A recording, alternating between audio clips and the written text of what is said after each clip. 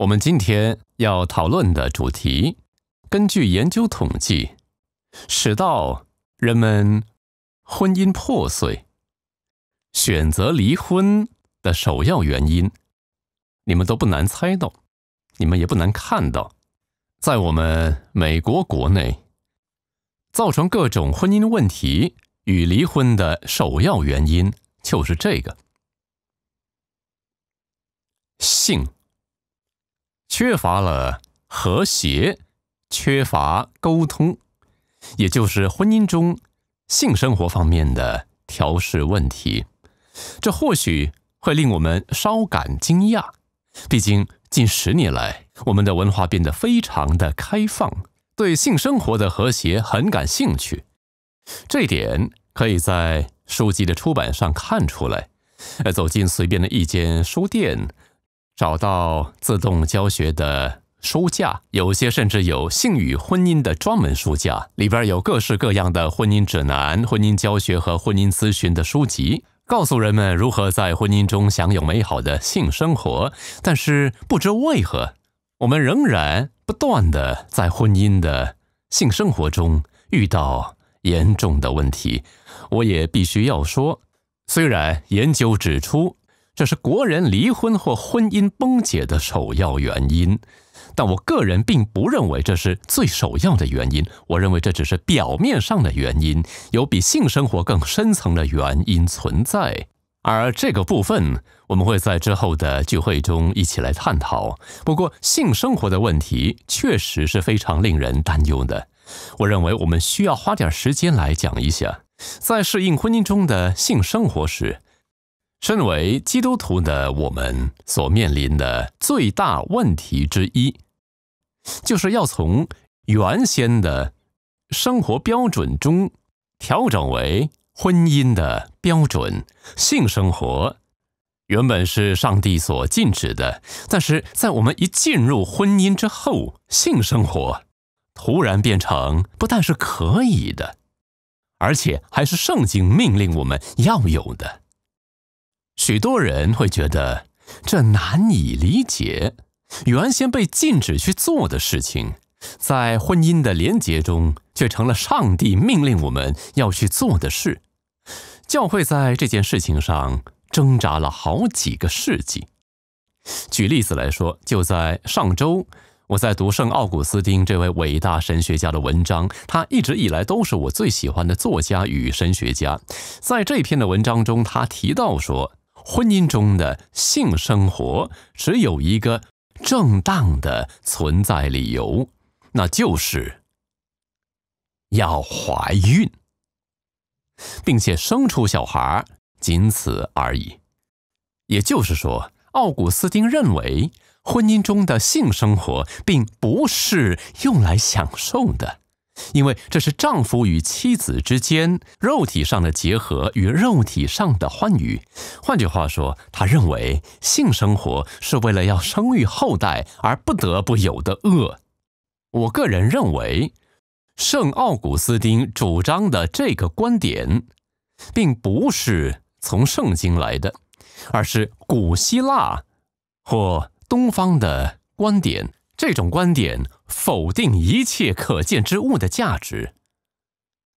我们都知道唯物论者的罪恶，他们选择透过物质来追求生命和一切的意义，例如透过金钱、食物，透过花天酒地，透过肉体的满足，我们称之为唯物论。我们都知道这是在扭曲上帝的真理，但有时候我们会反应过度。落入另外一个错误的极端，叫做唯心论，认为一切有价值的都只存在于心灵或灵魂的层次。但我们所信的上帝确实创造了物质的世界，他创造的人类不只是有灵魂而没有身体，是既有灵魂也有身体的人。举例子来说。新约圣经中，耶稣的教导也显示出他对人类物质生活的关心。他叫我们要喂饱饥饿的人，为赤身露体的披上衣服，为无家可归的提供避难所，这些都是对于物质生活的关心。所以，就连使徒也告诉我们说，丈夫的身体是属于妻子的，妻子的身体是属于丈夫的。我们不应该互相欺骗。因此，圣经对人类物质层面的生活，并没有这种负面观点。不过，上帝也很清楚的表明说，性生活要在什么条件下才可以享受。记得不久之前，我有特别研究过新约圣经对于性的观点。我把圣经新约中耶稣和使徒谈到性的经文都条列出来。研究的时候，我翻阅了新约神学词典。这本词典是由一群德国学者写的，他们并不相信福音与基督教，而且处理事情的风格一点也不守旧。这群学者当中有一位专门研究新约圣经对于性的观点，他不认同圣经的观点，但他为此做了总结，这么说道：“我们无法否认新约圣经确实很清楚的教导说，上帝认为婚前。”与婚外的性行为都是严重的冒犯他的圣洁，因此使徒告诉我们说，淫乱的事情在我们中间连提都不可。是的，连提都不可。根据第一世纪护教家的著作，第一世纪末晚期到第二世纪，他们为受到异教攻击的基督教信仰辩护。他们不只是在理论上守护基督教的真理，同时也声明：如果有人想了解基督教的样子，就看看我们的行事为人吧。他们说，欢迎检视基督徒的道德行为，欢迎检视我们的社群，看看我们当中有没有放荡淫乱的事情。真难想象啊！我绝对不会在二十世纪的世俗主义者面前挺身宣称说：“如果你想看基督教信仰的证据，就请看基督徒的性生活吧。”因为现在的基督徒与不信基督教的人都同样受制于淫乱之中。看看新约圣经，就知道圣经禁止淫乱这件事非同小可，甚至被列入十诫当中，不可奸淫。这并不是因为上帝反对我们快乐，或者他反对我们得到满足，这是因为上帝知道性这种亲密的关系在婚姻中是神圣的，夫妻两个人可以在这当中赤身露体而不羞耻，所以上帝并不是说性是错的。性是他创造的，是他设立的，同时他也定了些规定。他说，性在婚姻之外是不好的，我禁止，这会带来破坏。性在婚姻中是美好的，含义深远。这是我为了你们的喜悦而创造的，因此，身为基督徒的我们就会有调试上的问题。好，进入婚姻之后，我们在性生活方面。发现的问题是哪一些呢？在婚姻的性生活中，我们最常遇到的两大问题，对男性而言是性无能。我有拼对吗？对女性而言，就是所谓的性冷感。这两个用词都令我感到困扰，因为它们本身都不是很精准的用词。没有人是绝对性无能的，也没有人是绝对性冷感的。这些用词应该是指一个程度量表，表达说我们在婚姻的性生活中有多少能力去展现自己。所以。我们要以有程度区别的角度来看待性无能与性冷感。所谓的无能，当然就是指缺乏某种气力或力量；而冷感则是个有趣的词，因为它的意思就是冰冷。它表示一个人冻住了。这两个用词都是在表达性生活当中某种程度的瘫痪。所以，婚姻就因为这个性生活瘫痪的问题而逐渐失去健康。这个问题非常重要。我们看到相关的诊所在全美国纷纷的出现，这些诊所主要是透过医疗科学来调查所谓的性功能障碍，为的是要帮助人们解决这个足以破坏婚姻的问题。而我得说，这真的很糟，几乎没有什么基督徒开的诊所。有在研究性功能障碍的教会，应该要比任何人都还更重视这个问题对婚姻的严重性。因为牧师每天都会面对人们的婚姻问题，对于面临这种严重问题的人，我们所能够提供的资源却非常的稀少，因此他们必须在教会外寻找解药，导致他们难免在基督教的价值观上有所妥协。我们必须帮助人们来处理这种。瘫痪的问题。每次我遇到人们有瘫痪的问题时，我都会立刻检查这两个东西。我们所有的情绪感受当中，有两个东西会持续造成各种不同的瘫痪。这两个东西我写在黑板上，就是恐惧与罪恶感。恐惧与罪恶感刚好非常的密切相关。我们常说某个人吓到僵住了，吓到全身僵硬，他突然停下来，一动也不动，也无法出声，全身僵硬。恐惧会让人瘫痪，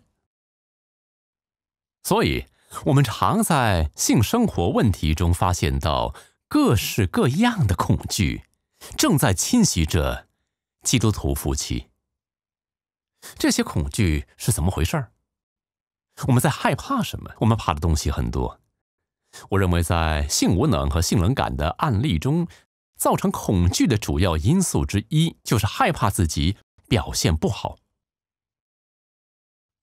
这是性文学蓬勃发展所带来的问题之一。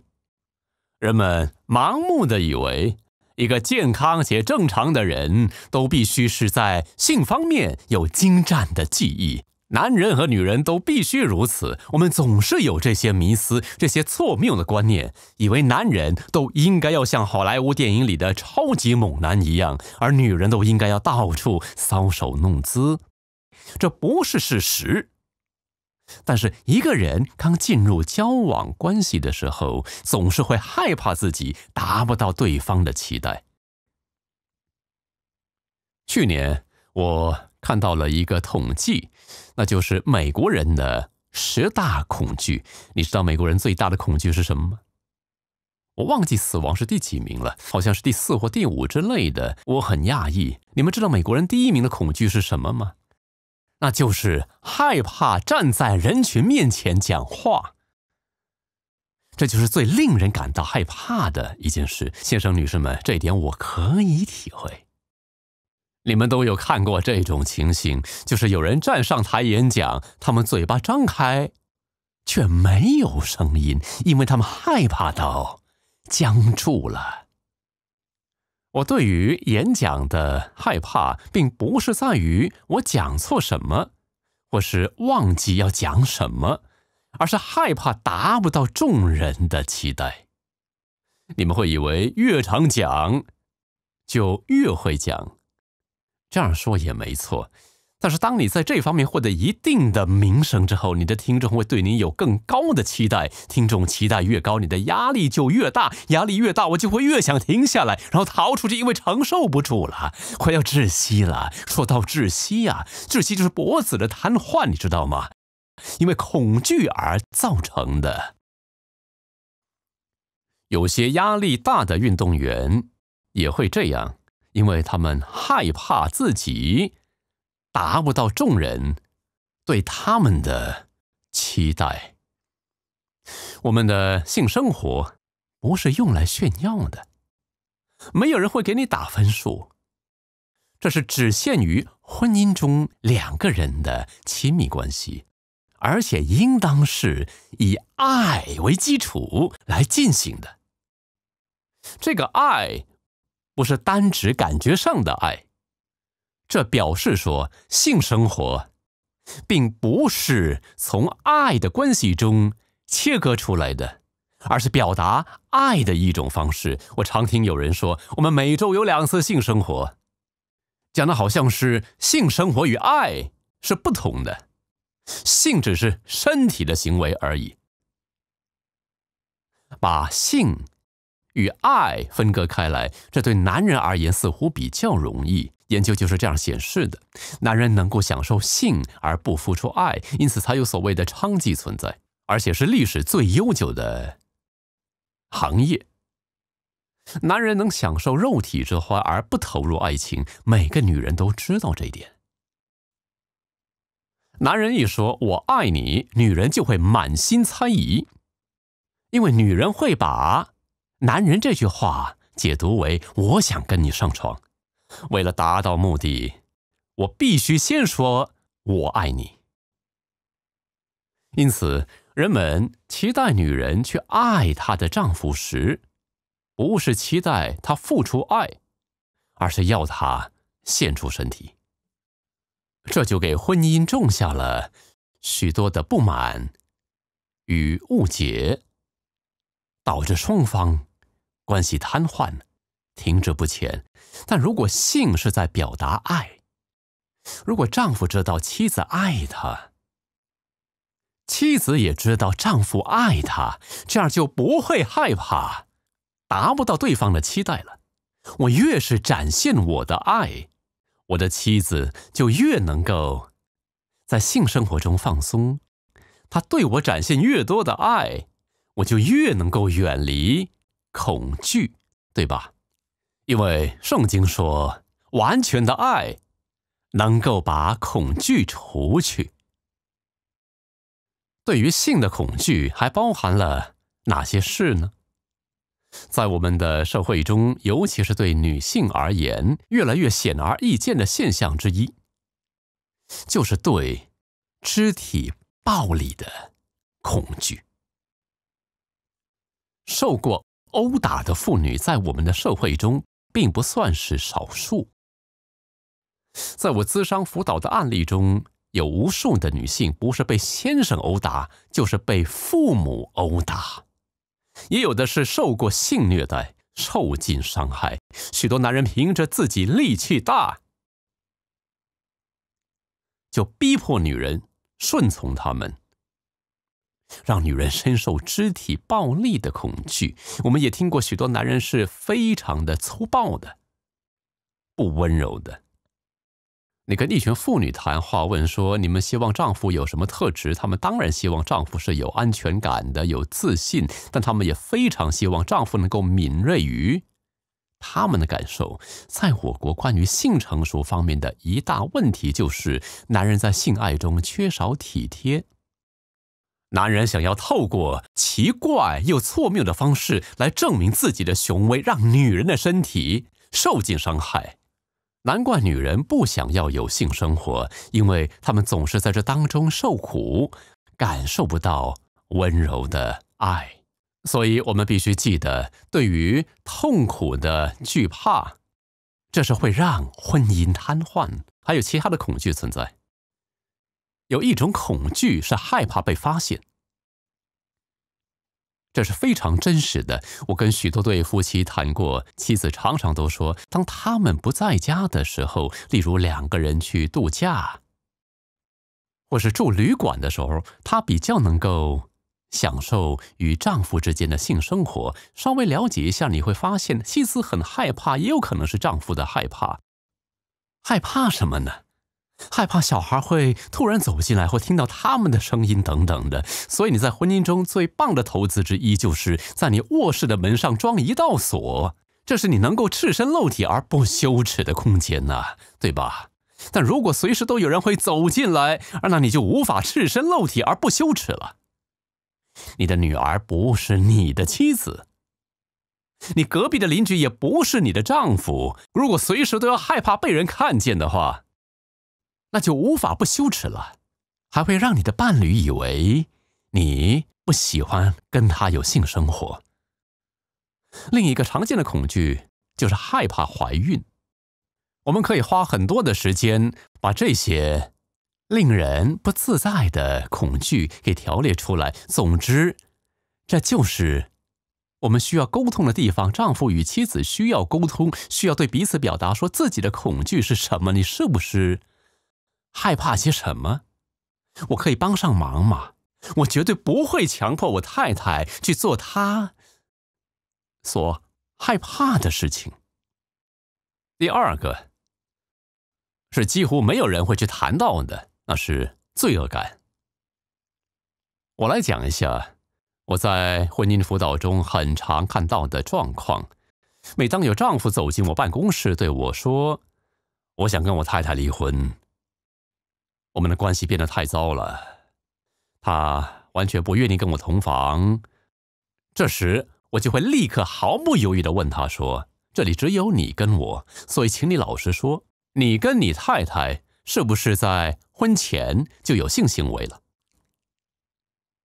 各位，我个人在婚姻咨商中的经验是很有限的，我无法一概代表全国人民的状况，这只是我个人的经验。我不知道我问过多少位丈夫这个问题了，应该有一百位，在我辅导过的丈夫中。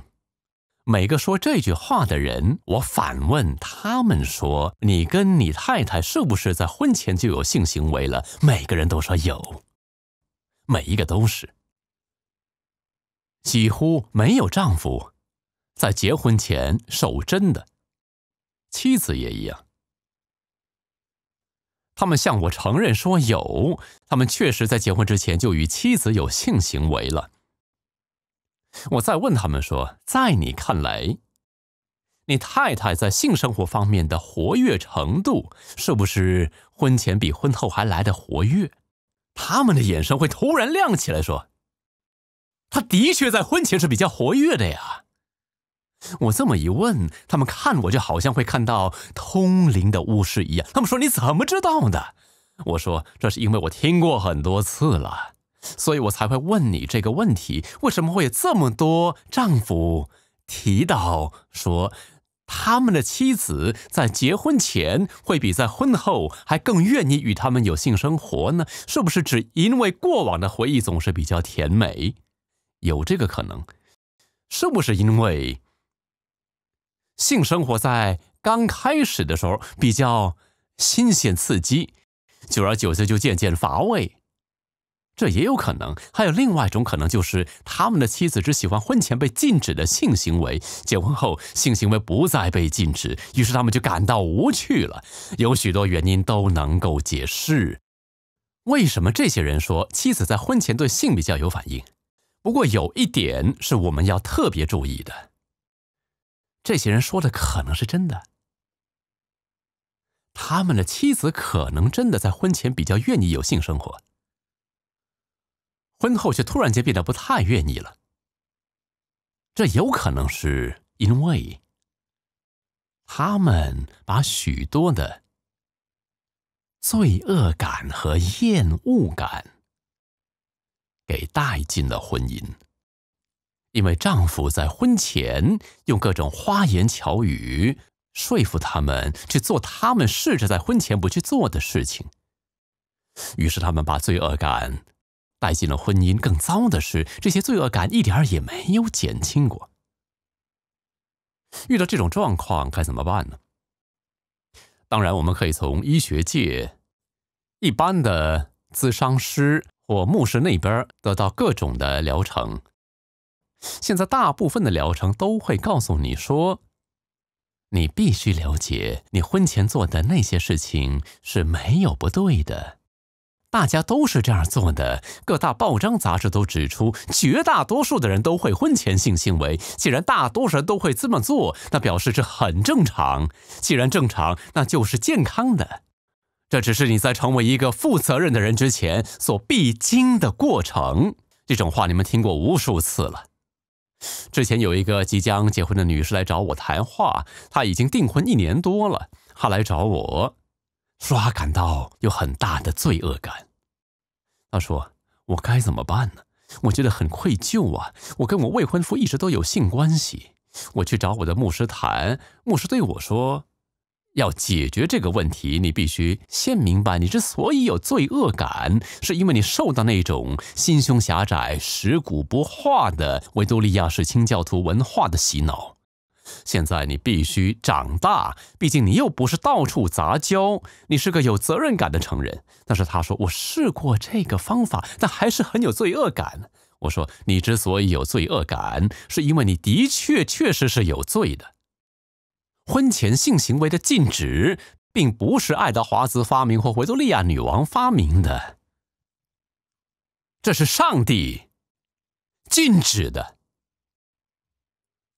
你冒犯的就是上帝，你违背了他的律法。不用管是不是每个人都会这样。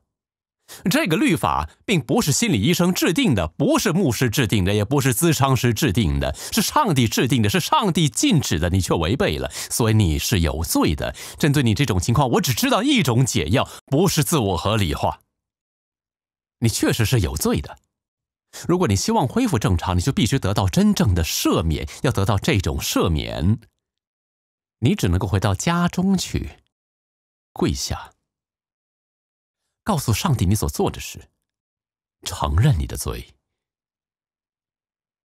上帝就会赦免你。在上帝眼中，你可以再次成为一位贞洁的女子。